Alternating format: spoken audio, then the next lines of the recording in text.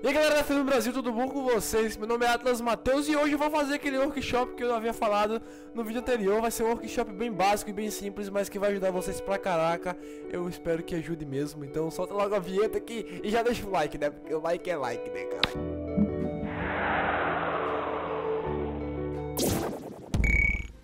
Bom, vamos lá, eu tô aqui no Premiere, eu trouxe um vídeo meu aqui e eu vou comentar como foi que eu editei o meu vídeo? Infelizmente eu não tenho um projeto dele pra ir, ir, explicando a vocês passo por passo.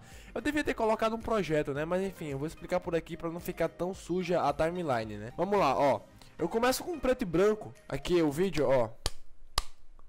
Quando você tá com a mão ocupada é assim que, que se sincroniza o microfone com o áudio da câmera. Eu comecei ele em preto e branco pelo fato de não, ter, não fazer parte do conteúdo do vídeo. Ou seja, para colocar preto e branco é uma coisa muito simples, né? Você deve saber fazer no, no, no Premiere ou, ou, no Sony Vegas. Quem não sabe no Premiere aqui, ó, você vem aqui, coloca preto e branco e só faz arrastar e jogar. Ou então joga um, um black e white, se for em inglês no caso. Essa parte ficou em preto e branco pelo fato de não ter nada a ver com o vídeo, ser uma coisa que eu quis parecer que seja engraçada. E uma coisa que eu, que eu gosto muito de prezar, ó, presta atenção, vou colocar novamente, ó. Quando você tá com a mão ocupada é assim que, que se sincroniza o microfone com o áudio da câmera. Manos, hoje o vídeo é com vocês. Eu tô vocês perceberam duas coisas. A primeira coisa é que eu coloquei um efeito de entrada na hora do, que, que entrou a parte do vídeo mesmo. Mas hoje o vídeo é com vocês. Viu? Ele deu um, uma aproximaçãozinha no zoom e começou a música. Uma coisa que eu vou dar dica pra vocês, bastante importante aqui, é a seguinte. Quando colocar em preto e branco, não coloque música. Quando, quando deixar preto e branco, retire todos os efeitos, deixe só o vídeo em preto, preto e branco. Se quiser dar zoom, dê zoom, mas não coloque nenhum efeito extra de áudio. Até pode colocar efeito sonoro, por exemplo, se... Eu, aqui eu poderia ter colocado um psh, psh, psh, entendeu? Mas eu quis mostrar o barulho mesmo de eu batendo no meu próprio rosto e tal. Eu quis colocar uma coisa mais uma coisa mais seca, eu quis colocar uma coisa mais padrão. Agora vamos pra parte do, do vídeo em si. Paramos de falar aqui agora do, preto e branco, vamos lá. Manos, hoje o vídeo é com vocês. Eu tô disponibilizando aqui na descrição uns vídeos em chroma key que é pra vocês fazerem alguma zoeirinha comigo aí, mano. Eu, eu, eu, sei. A qualidade tá uma bosta, tá uma bosta, mas aí é com vocês. Mano, eu não. Vocês perceberam que eu, que eu gosto muito de, de fazer uma aproximação e, uma e um distanciamento de zoom. Isso serve muito bem pra, pra fazer uma dinâmica no seu vídeo. Não gosto de ficar com o vídeo aqui parado direto, só quando é tutorial, quando é uma coisa que não necessariamente tem que ser entretenimento. Por exemplo, eu deixo parada e, e dou zoom às vezes, tipo, a, a, câmera vai se aproximando, depois já volta ao normal, tá entendendo? Isso aqui é uma coisa, uma coisa, uma identidade visual muito boa que você pode, pode conseguir para você. Por exemplo, você pode fazer sua identidade visual de uma forma diferente. Por exemplo, você pode dar um zoom só em você e depois você pode dar um zoom, um, um efeito desaproximando. É uma identidade visual, uma coisa que melhora a visão do pessoal para com o seu canal. Por exemplo, eu tô assistindo o canal, eu não vou ficar só preso a uma tela parada e o cara falando. Entendeu? É, é isso. Agora deixa eu dar uma dica pra vocês aqui. Eu vou pegar aqui no início. Eu vou cortar essa parte aqui, já que a gente já viu até aqui, né? Eu vou mostrar vocês como é que se faz aqui no, no Premiere. Como se faz o, o, o, efeito. Um efeitozinho legal pra, de aproximação. Deixa eu tirar esse áudio daqui. No Premiere você clica na, na faixa de vídeo, vai lá em movimento ou em, em, em movement. Eu acho que em inglês tá em movement. E vai em escala. Eu gosto muito de fazer o seguinte, ó. Eu passo um, dois, três frames, pego o vídeo, dou dois cliques no vídeo aqui, ó, dou um zoom, aí dou, volto pra lá pra track de edição, aí ó, um, dois, três frames e já volto um pouco pra trás. Volto pra lá, um, dois, três frames, aí eu já dou mais um zoom e outra, um, dois, três frames, só mais um pouquinho e um, dois, três frames, só mais um pouquinho. Olha o efeito como fica, ó.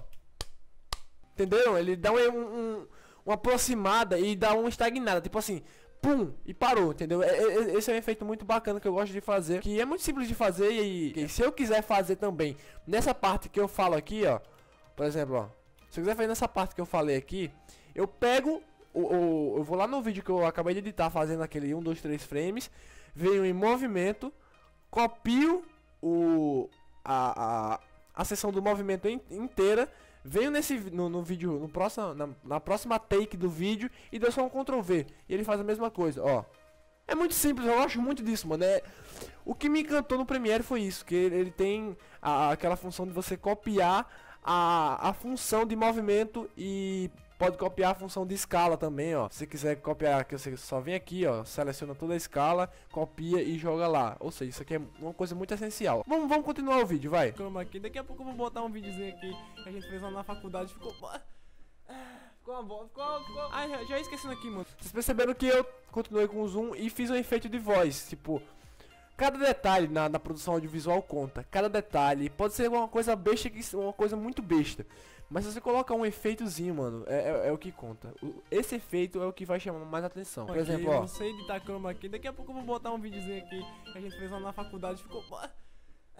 Ó, esse efeito da letra entrando, se eu tivesse colocado ela de uma forma sólida, só aparecendo, não, não, não seria legal não seria uma coisa bacana, não seria uma coisa supimpa. Esse tipo de efeito você pode fazer tanto é, ele aparecendo da mesma forma do que eu acabei de mostrar, como vocês podem fazer nesse efeito 3D. Eu não sei como é que se faz esse efeito 3D aqui no Sony Vegas, mas aqui no Premiere ele é muito simples de se fazer. Você pega o seu texto, deixa eu botar aqui um, um texto. Vou botar aqui um texto, deixa eu ver aqui. Freedom. Vou colocar aqui pretão. Eu vou fazer esse Freedom sair daqui da minha testa no formato 3D. E agora, mano, você vem no, no efeitos e coloca aqui, ó, 3D. Aí vem 3D básico, na parte de efeito de vídeo, perspectiva, aí tem 3D básico. Você arrastou e na parte de rotação, você clica no reloginho aqui, ó. Você vai clica no seu texto para você começar a editar o efeito que tá dentro do texto. Vai em rotação, clica no reloginho aqui, ó. E começa a fazer o um movimento, ó. Esse movimento aqui vai ser o movimento que ele vai fazer. Ou seja, em 90 graus, ele vai, ele vai iniciar em 90 graus. Eu dou 1, 2, 3. Faço isso. 1, 2, 3. Aí eu já boto mais pra frente de novo. 1, 2, 3. Mais pra frente de novo. Mais pra cá de novo. 1, 2, 3. Aí aqui eu já boto o que? Um 2. 1, 2, 3. Aí menos 3. É, é... Mano, esse aqui é a forma que eu gosto de editar. É a forma que eu fico contando os frames pra ficar bacana. Ó, só pra vocês terem uma noção como é que vai ficar isso aqui, ó. Entendeu? É, é uma chegada. É uma chegada de uma forma bem, bem bacana que não fica cansativo, fica bem dinâmico, entendeu? É muito simples de fazer isso. Ou seja, vou, vou recapitular essa parte. Você digita aqui no efeito 3D, coloca lá no efeito para você pesquisar, coloca 3D, pega o 3D Basic 3D ou 3D básico em português, copiou para sua faixa de, de, de, texto e fez, ó, clicou em rotação no reloginho de animação de rotação e começou a, a, a explorar, é isso. Vamos continuar o vídeo aqui. Ah, se você não sabe fazer chroma key, mano, e quiser fazer um zoeirinho mesmo assim, eu vou deixar aqui dois vídeos que eu ensinei. Eu e o Peralta ensinamos a fazer chroma key no Sony Vegas e no Premiere, lá na Freedom Brasil. E é isso, mano. Eu...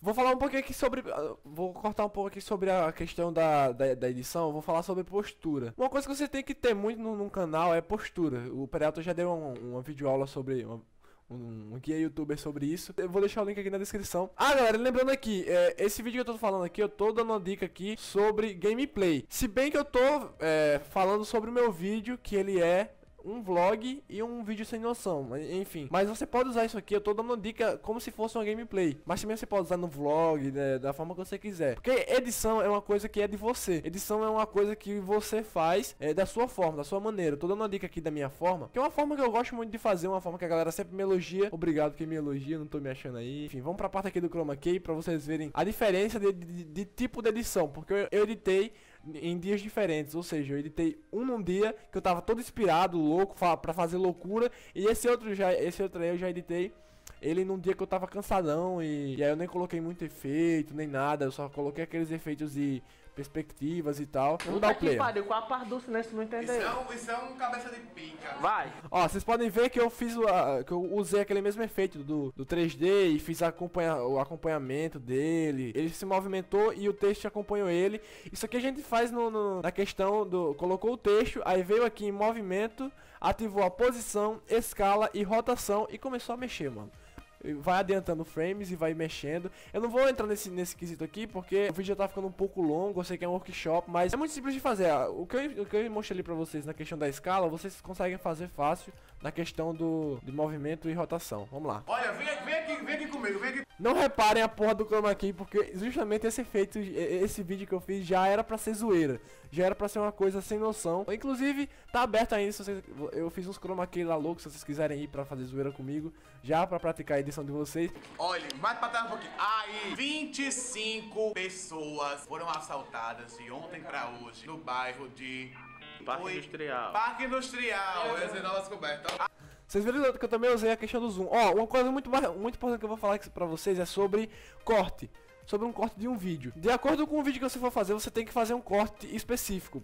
Um vlog, por exemplo, se o, o seu estilo de vlog for mais entretenimento, for uma coisa, coisa mais zoeira, mais bagunçada, você pode fazer corte rápido sim. Você não precisa esperar uma, uma, uma fala terminar pra você fazer um corte, tá entendendo? Você pode fazer uma coisa mais, mais, mais sintética. Já se você for fazer um, um, um vlog é, sobre informação, informativo, eu acho bacana você não cortar os momentos que você está pensando, que você está respirando, que você está fazendo uma coisa, justamente para passar um ar, um ar bacana para vocês, um ar de, de tipo, é, isso aqui não tem roteiro, isso aqui eu estou pensando, isso aqui vem de mim mesmo, tá entendendo? E essa é a ideia que eu quero, que eu gosto de, de, dar para vocês sobre cortes. Enfim, vamos continuar. Industrial, essa é nova descoberta. A reportagem é de Atlas Mateus e ele vai mostrar tudo agora. Vocês viram que quando eu coloquei o preto e branco, é, se eu tivesse colocado música de fundo aqui, eu não teria usado a música de fundo, como eu falei lá no início. Nesse momento. Vocês viram que eu tô no mesmo local que ele, né? Não, a gente mudou o croma, foi mudado o croma. Quando uma coisa não tem nada a ver com o seu canal, com, tipo assim, quando é uma coisa que tem a ver com comédia, com humor, e que seja uma coisa meio que bastidores, você coloca em preto e branco, não tem problema, pode jogar o preto e branco. É, certo. Ah, acabou de morrer uma pessoa. Vem alguém aqui. Acabou de morrer uma Entendeu? pessoa. Ah, Essa, essa acabou é de... sacada. Levanta a mão. Essa pessoa que morreu, viu o filme de novela? Mano, o cama ficou muito zoado. Morreu outro. Outra pessoa morreu? Morreu você. Uma coisa muito importante também é vocês fazerem isso. Tipo, quando tiver uma coisa engraçada, vocês peguem o texto, dá um Ctrl T aqui no Premiere, mano. Pega um texto bacana. Uma fonte que eu vou dar uma dica pra vocês é Boris Black Blocks. Essa cena é, é- essa cena não, essa fonte é muito boa pra vocês fazerem efeitos, elas são redondinhas, olha só. Morreu outro. Ó, ela é redondinha, mano, e ela é muito bonita pra fazer esse tipo de efeito. Eu acho que é isso, mano. Eu- e o- o- a última coisa que eu devo falar aqui pra vocês é a questão de efeito de som. Usem e abusem do, do efeito de som, mas não, não tanto, cara, porque é pra não ficar chato e tal. Ó. Vocês perceberam que deu um no meio aí? Bom, é porque ficou preto e branco, pra não ficar uma coisa tão monótona, eu decidi colocar um preto e branco, um, um efeitozinho, ó. Coloquei o efeitozinho do gato aí porque deu uma merda aí, ó. Enfim, mano, pesquisem muito por efeitos de sons. Sempre que você for de alguma coisa, por exemplo, você coloca em som de FX, FX no caso, né? Que é uma coisa que conta muito. É a- o posicionamento da sua música, o, o seu posicionamento diante da câmera e o- os efeitos de sons que você usa. E eu acho que é isso, mano. Espero que vocês tenham gostado dessa, desse workshop aqui. O vídeo tá quase terminando aqui, ó. Não tem muita coisa pra mostrar pra vocês, é só repetição e tal. E é isso aí, mano. Eu espero que vocês tenham gostado desse workshop. Se vocês gostaram e quiserem mais sobre alguma coisa específica, deixa um comentário aqui embaixo. Muito obrigado mesmo, eu tô muito cansado, velho, porque essa madrugada foi louca lá na faculdade. A gente passou. Enfim, tamo junto. Me segue nas redes sociais. Um beijo pra quem quiser. E. Falou, galerinha.